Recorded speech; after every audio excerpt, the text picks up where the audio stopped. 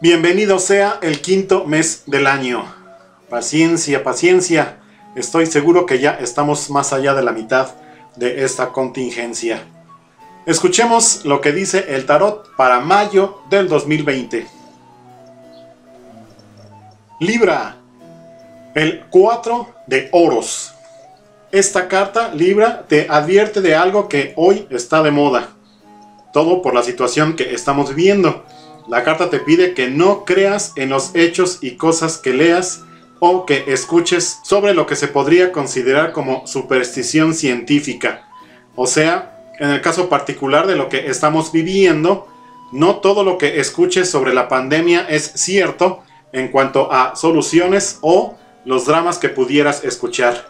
Y todo esto tiene que ver con el otro mensaje que tiene la carta, que es tienes que controlar tus estados de ánimo.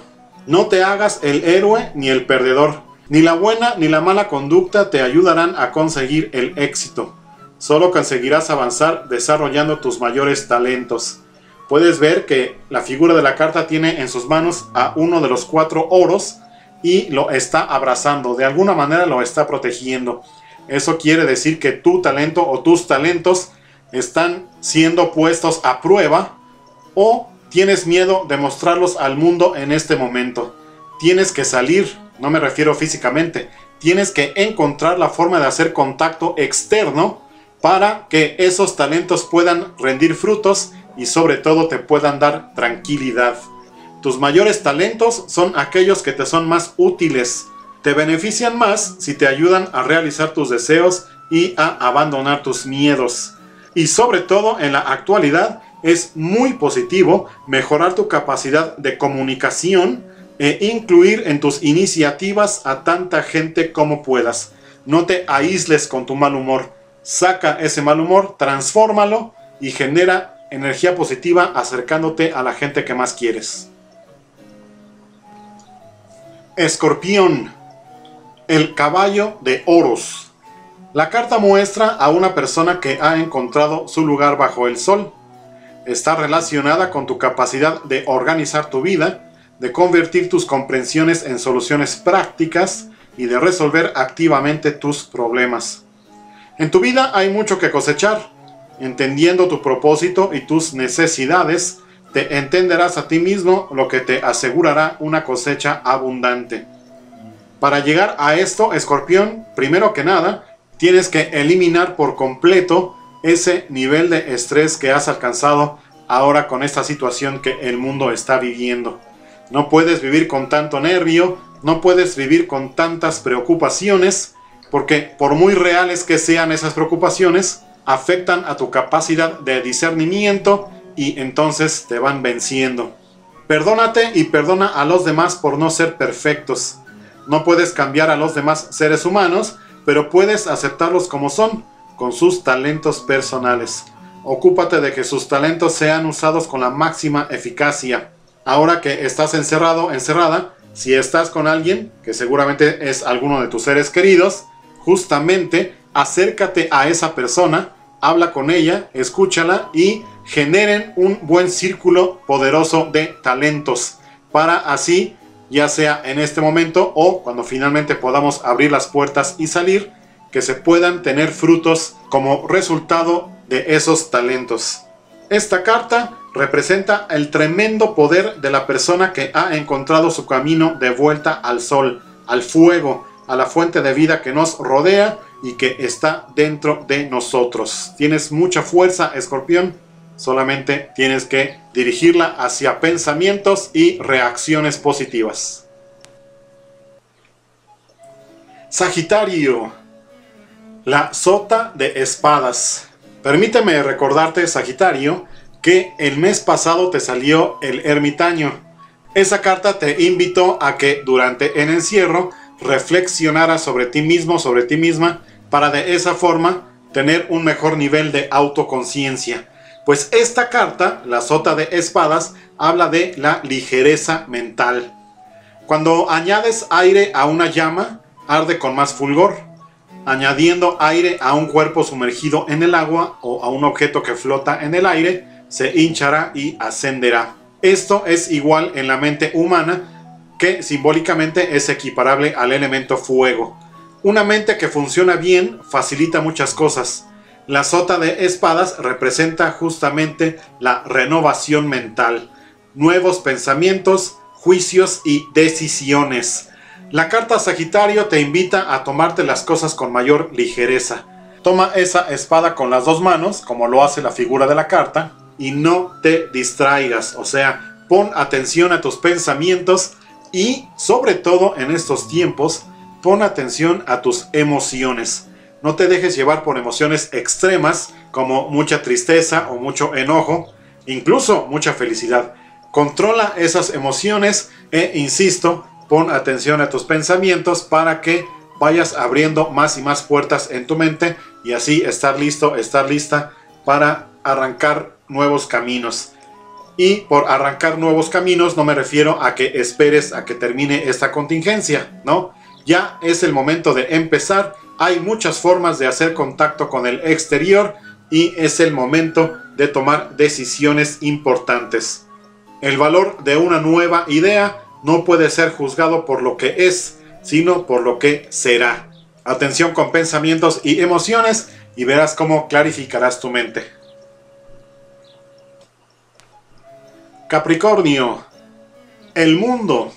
Conforme ha ido avanzando este año, tú has ido ascendiendo niveles tanto mental como espiritualmente e incluso físicamente te vas sintiendo mejor y has ido aclarando la mente para encontrar nuevas facetas dentro de ti. El mundo habla precisamente sobre lo que tú sientes que es tu papel en esta vida. Tu deber y tu fuerza es dar un paso adelante y mostrarte. Tu forma de vivir en el mundo determina qué es el mundo para ti. Usa tu tiempo sobre la tierra sabiamente y disfruta de tu estancia en estos tiempos en los cuales se nos pide que estemos encerrados, claro que automáticamente empiezan las reflexiones y tú has encontrado grandes cosas sobre ti mismo, sobre ti misma. La humanidad no solo ha descendido del cielo a la tierra, sino también de las copas de los árboles al suelo. A cada nivel de nuestra evolución somos llamados a lidiar con nuestra herencia, con la fuente de nuestro ser aunque a menudo descubrimos rasgos peligrosos en nosotros mismos y en los demás, también descubrimos áreas de crecimiento nuevas y hasta ahora desconocidas.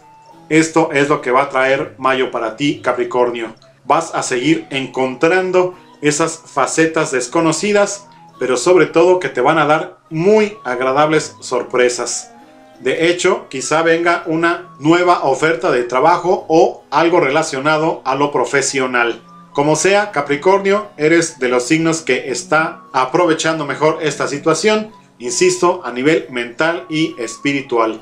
Sigue con esa actitud y verás que saldrás de esto renovado y listo para dar los siguientes pasos. Acuario, el 4 de espadas. Acuario, tienes que entender la situación actual y sobre todo tienes que tomarlo con la mayor paciencia posible. Tus malos humores y tu pesimismo están aflorando y esto no te hace bien. Tómalo con calma. La carta te invita a meditar, como puedes ver en la figura de la carta. Y si eres una persona creyente, acércate a la oración. Si no eres alguien creyente, de todas maneras busca esa paz a través de la meditación y de encontrarte a ti mismo, a ti misma a nivel espiritual. Porque ahí es en donde radica tu problema, en la cuestión espiritual, en la cuestión de tus energías. Están volando por todos lados porque te mantienes de mal humor y sobre todo, y esto es lo más dañino, te mantienes con pensamientos negativos, incluso agresivos. Tienes que bajarle porque de hecho, Acuario, en estos momentos y en este mes de mayo, el universo te estará dotando de grandes ideas. En la actualidad nada vende mejor que una buena idea. Entonces tienes que aclarar tu mente. Recuerda que las espadas son las armas de la mente. Si la aclaras, si te llenas de pensamientos positivos y de energía positiva, entonces podrás ver claramente esas ideas y desarrollarlas. Seguro que serás capaz de resolver estas contradicciones importantes y de dominar tus asuntos complicados. Abandona las ideas insanas y celosas para que todo el mundo pueda tranquilizarse. Si quieres que tu mente se concentre en la tarea que tienes por delante, tienes que relajarte. Una nueva dimensión y una vida mucho mayor te están esperando. Piscis, el 7 de oros. Según esta carta, Pisces, parece que has estado ya más tranquilo, más tranquila, ya no ha habido tantas lágrimas y esto me gusta. Espero que así sigas porque no es bueno estar así, sobre todo en una situación que no podemos controlar. Me refiero evidentemente a la cuarentena. Si tenemos que estar dentro de casa, pues hay que estar con la mejor actitud. Y esta carta, el 7 de oros, Pisces, te dice que tanto si ya has dejado atrás los problemas y las penas, como si todavía no las has pasado, esta carta aborda la revisión de resultados y el establecimiento de nuevos objetivos. ¿Estás satisfecho con los resultados de tu vida? ¿Estás contento en cómo has obtenido dichos resultados? Pues aprovecha este mes de mayo para reflexionar sobre esto y sobre todo, repito la palabra, para revisar estos resultados. Recuerda que los oros son los talentos. Puedes ver claramente cómo la figura de la carta está contemplando esos frutos que ha sembrado. ¿Es el momento de cosechar o quieres seguir alimentando a esos talentos para seguir creciendo? Las contradicciones que tienes que afrontar te ofrecen una oportunidad especial de contemplarte y de observarte. Solo crearás tu propio criterio evaluando tus experiencias.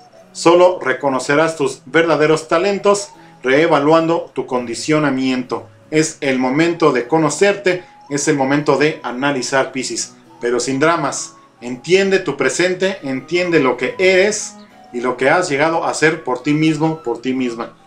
En tu situación actual, se te pide que busques signos y los interpretes. Busca y encuentra hasta que veas con claridad. Esta actividad puede llegar a ser hasta divertida, Piscis. Si la ves de forma positiva, será muy divertido conocerte para crecer más y estar listo, estar lista para cuando podamos ponernos en acción nuevamente. Si puedes encontrar tu propia medida personal, crecerás con tus tareas y tus tareas crecerán contigo.